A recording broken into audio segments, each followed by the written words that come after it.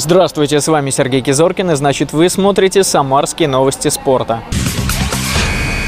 И самая главная спортивная новость сегодня посвящена Бразильской Олимпиаде. На игры в Рио-де-Жанейро поедет 11 самарских атлетов. Это дзюдоист, действующий олимпийский чемпион Тагер Хайбулаев, пловец Семен Макович, теннисистка Дарья Касаткина сыграет соло и в паре, за медали также поборется Андрей Юдин, прыжки на батуте, Наталья Перминова, бадминтон, Павел Сухов, фехтование, Илья Штоколов, гребли на байдарках и каноэ. Ольга Акопян, Ирина Болезнова, Дарья Дмитриева и Татьяна Ерохина сыграют за сборную России по гандболу.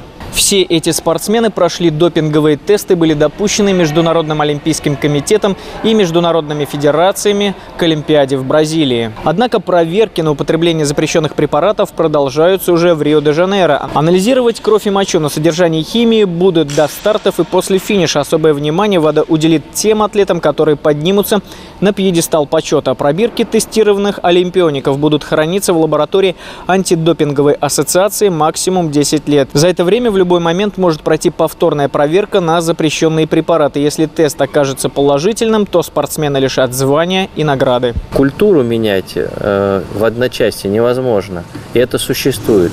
Пока не будет жестких санкций и наказания за это, оно так и будет продолжаться. И это, поймите, это, к сожалению, э, от, передается из, из поколения в поколение, тренерами передавалось. Но в данной ситуации я надеюсь, что введение уголовной ответственности за допинг, изменение всей контрактной системы с тренерами, я думаю, они изменят эту ситуацию.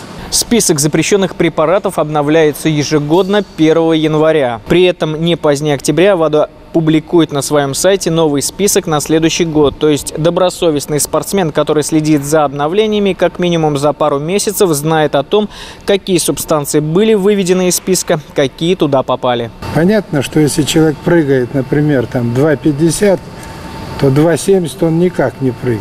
Это нереально. Надо как-то собраться, отбросить все эти мысли про то, что там решают, что там допинг, что там кого-то не допустят готовиться и найти эту высшую точку в нужный момент.